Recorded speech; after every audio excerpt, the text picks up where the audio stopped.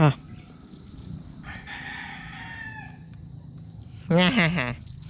Ayaw nyo lumapit eh. Ate kayo. The world belongs to the askers. Oh, ikaw na lang ulit. oh. So, hello guys! What's up mga ka-power? Welcome to day 17 of our 21 day video challenge. Patatapos na tayo. Alright. So, say hello to my friend there. Si Cow Cow. Carabao. So today guys, I'll be sharing to you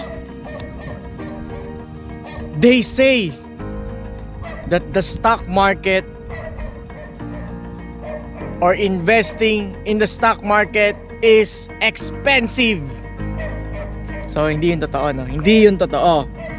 They say that the stock market or investing in the stock market is very expensive or requires you to be rich and powerful.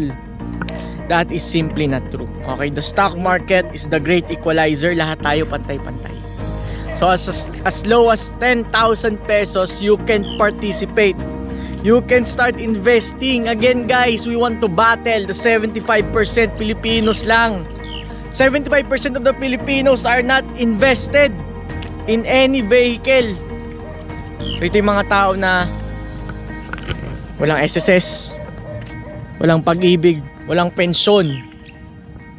Paano yung mga panahon na wala na tayong sweldo? Tama ba? Paano yung mga panahon na wala na tayong sweldo, na wala ka ng trabaho? Ayun ka aasa. Aasa ka sa mga anak mo. Tama ba? Aasa ka sa mga kaibigan mo, aasa ka sa mga kapatid mo. Ayaw natin ng ganun guys. So mahal ko kayo guys. So gusto ko kayong tulungan. And I want to I want to tell you guys that the stock market is not only for the rich people. Okay? So pwede as long as you can educate yourself. Andito ako for you for for me to help you guys. Gusto ko kayong tulungan.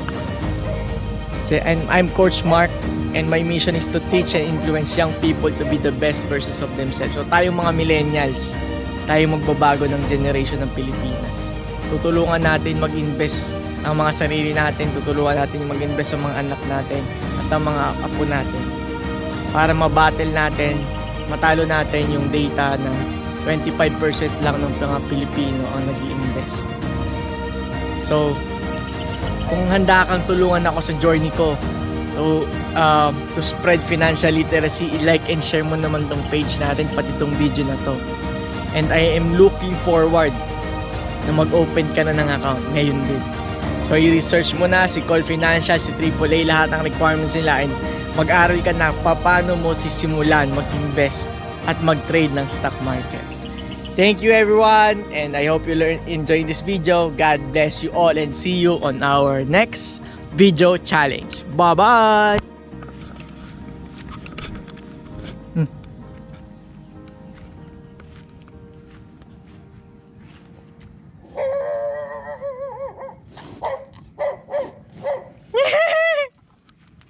Ito mo.